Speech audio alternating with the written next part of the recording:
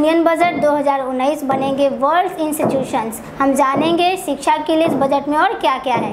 नमस्कार, news for Bharat में आपका स्वागत है। मैं हूँ आपके साथ समृद्धि शिवानी। केंद्र सरकार में दोबारा वापस आने के बाद नरेंद्र मोदी ने अपना पहला बजट पेश किया इस बजट में शिक्षा व्यवस्था के सुधार के लिए इस वित्त वर्ष वर्ल्ड क्लास इंस्टीट्यूशंस बनाने का और बाकी पॉलिसी पर और चार करोड़ रुपए खर्च करने का प्रस्ताव है। बजट में छात्रों के लिए काफ़ी कुछ है। चलिए जानते हैं, सांसद ने पेश किए बजट में शिक्षा के लिए और क्या क्या है? बजट वित्त मंत्री निर्मला सीतारमन ने पेश किया है। सरकार शिक्षा को अंतर्राष्ट्रीय स्तर पर लाने के लिए एक नई शिक्षा नीति लाएगी। अनुसंधान और नवाचार पर ध्यान केंद्रित करेगी।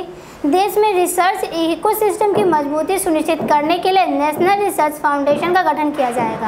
वित्त मंत्री ने वित्त वर्ष 2020 में विश्व स्तर के उच्च शिक्षा संस्थानों के लिए 400 करोड़ रुपए आवंटित करने का प्रस्ताव है। भारत में विदेशी छात्रों को आकर्षित करने के लिए और वैश्विक रैंकिंग में भारत के शिक्षण संस्थानों को शामिल करने के लिए आईटीआई और आईआईएम जैसे भी संस्थानों को शुरू किया जाएगा। भारतीय यूनिवर्सिटीज़ में पढ़ाई करने वाले विदेशी छात्रों की संख्या बढ़े, इसके लिए सरकार स्टडी इन इंडिया कार्यक्रम शुरू करेगी।